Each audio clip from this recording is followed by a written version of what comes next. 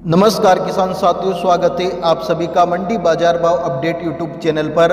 आज हम जानने वाले हैं सोयाबीन के ताज़ा दाम। यहाँ पर बात करेंगे, आज देश की टॉप कृषि उपज मंडियों में सोयाबीन का दाम क्या देखने को मिल रहा है? वहीं रोज़ाना सोयाबीन के ताज़ा भाव से अपडेट पाने के लिए आप हमारे इस चैनल को सब्सक्राइब ज़रूर कर लें। साथ ही इस वीडियो को एक प्यारा सा लाइक कर दें। तो चलिए किसान साथियों, जान लेते हैं आज के सोयाबीन के ताज़ा दाम क्या है। आज रतलाम मंडी में सोयाबीन का भाव बत्तीस सौ रुपये से लेकर चौवन सौ अस्सी रुपये प्रति क्विंटल तक देखने को मिल रहा है। राजस्थान टोक मंडी में पैंतीस सौ रुपये से लेकर तिरपन सौ नब्बे रुपये प्रति क्विंटल तक हमें सोयाबीन का दाम देखने को मिल रहा है। वहीं बात करें मध्य प्रदेश, भोपाल मंडी की तो तीन हज़ार रुपये से लेकर तिरपन सौ सत्तर रुपये प्रति क्विंटल तक हमें सोयाबीन का दाम देखने को मिल रहा है। राजस्थान मेड़ता मंडी की बात करें तो पच्चीस सौ रुपये से लेकर चौवन सौ रुपये प्रति क्विंटल तक हमें सोयाबीन का दाम देखने को मिल रहा है। मध्य प्रदेश उज्जैन मंडी की बात करें तो पैंतीस सौ रुपये से लेकर